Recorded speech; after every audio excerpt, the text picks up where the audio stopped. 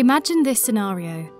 You were driving at a steady 30 miles per hour in a built up area when a pedestrian steps into the road a short distance ahead of you.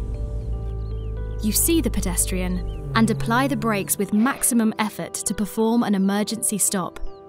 Thankfully, you avoid hitting them, but only just.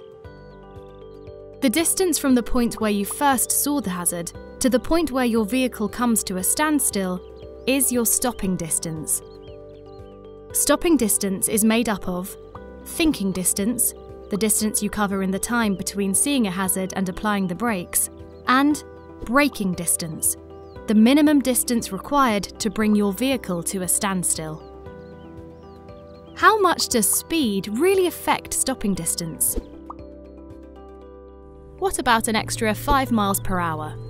Doesn't sound like much. How unsafe can it be?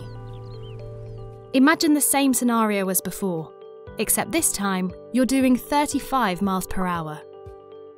Even with the same reaction time, your higher speed means your thinking distance is 2 metres longer. This means you now have only 12 metres to impact, but those extra 5 miles per hour mean you really need around 19 metres to brake to a stop.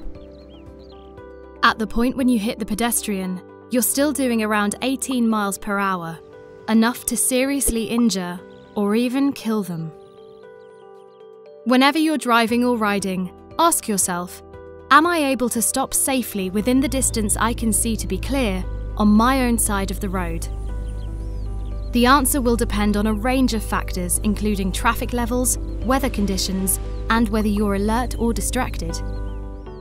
Be prepared to adjust your speed and following distance to ensure that you are able to stop safely should a hazard arise.